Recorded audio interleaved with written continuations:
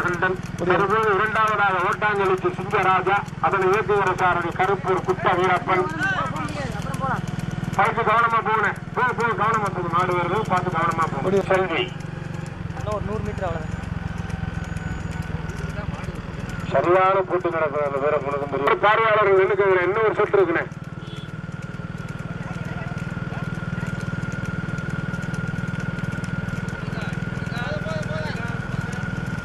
பிரியமாக வந்து கொண்டிருக்கிறது கொடியை நெருக்கி வந்துகிட்டு இருக்கிறோம் அண்ணே டவரகாரண்ணே கொடி தானே அங்க போவாங்க நம்ம திருப்பணம்